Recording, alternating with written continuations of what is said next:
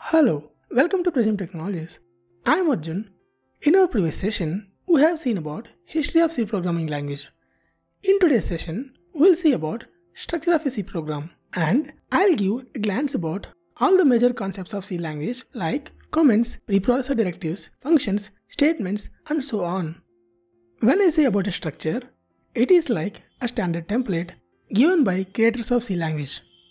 As a C programmer, we should need to follow this pattern in order to make a program look good and to avoid side effects of the language. This is the structure of C program which we need to follow whenever we are writing a program. Let's discuss about each and every section in detail. In the beginning, we have the commenting section. In this section, programmers write few comments about their program. It includes copyright information, author name, creator date, project name, and brief description about the program. In C, we have two ways to write comment in a program. If our comment is a single line, then we can use single line commenting. Whereas, if our comment spans to multiple lines, then we can use multi-line commenting. Commenting section plays a crucial role when multiple people are working collaboratively in a single project because one should need to understand the fellow developer's code in order to work as a team. If there is no comments, then it is really hard to understand the program written by someone. Let's have a look at the example C program with the commenting section. This commenting section will be removed by preprocessor in the compilation process. We will discuss more in detail about preprocessor in our further tutorials. And next, it is link section. The code in this section will also be evaluated by a preprocessor. This section contains few lines of code where each line starts with an hash symbol. We can also call these statements as the preprocessor directives.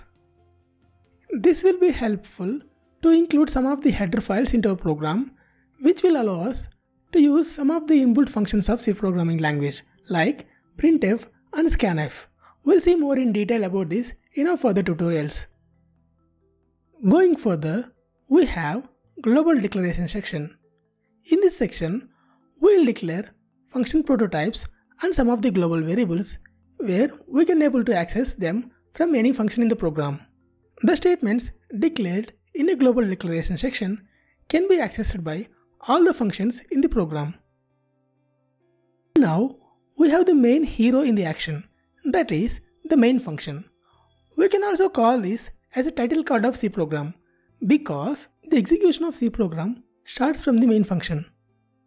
Every function has start and end which can be represented by using open and closed curly braces. Now we'll see what is meant by a function.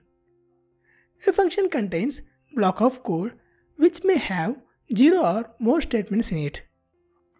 For example, in this main function, we have a block of code. Inside this block, we have two statements that is a printf and return. So now what is meant by a statement? A statement is a line of code that ends with a semicolon. In C, every statement should need to end with a semicolon. Return statement is used at the end of each and every function except the function has return type as a void. Actually, functions work like a master-slave mechanism. For example, a master will call a slave and will assign some work to him. After completing the task, the slave should need to report back the status to the master. In the same way, one function will call another function to achieve some task. After completing the task, the callee function should need to return back the status to the caller function.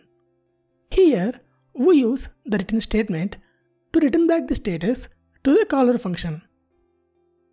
I repeat, this tutorial is a glance to some of the major concepts in C language. I promise that I'll explain each and every concept in detail in upcoming tutorials.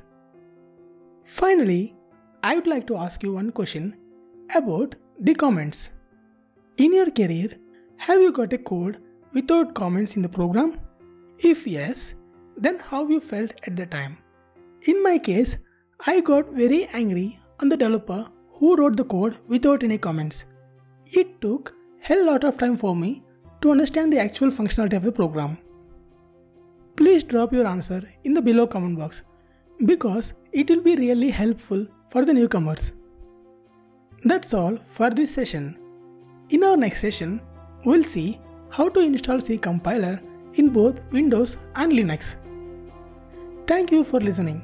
See you later in next session.